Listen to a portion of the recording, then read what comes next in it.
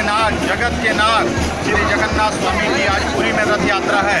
यह रथ यात्रा पूरे भारत देश में जगह जगह मनाई जाती है। करोड़ों की संख्या में भक्त रथ यात्रा में शामिल होते हैं और अपनी मनोकामनाओं की पूर्ति करते हैं। भगवान से आग्रह करते हैं कि भारी वर्षा हो, जिससे देश में खुशहाली आए, अच्छे से खेती हो, व्यापार चले, देश की आर्थिक प्रगति हो, देश में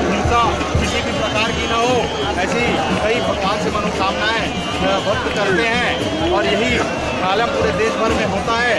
आज पुरी की रथ यात्रा में आप देख सकते हैं कि 15 लाख से अधिक भक्त अभी यहाँ मौजूद हैं। हो सकता है ये संख्या आधे घंटे के पूर्व, आधे घंटे बाद ये संख्या और बढ़ती जाए। और इस जगन्नाथ पर्व का बहुत बड़ा महत्व है क्योंकि तो भगवान कहते हैं कि मैं अपने घर में विराजमान हूँ, तुम मुझसे मिलने नहीं आए और मैं घर से बाहर निकल कर तुम भक्तों को दर्शन देने आता हूँ।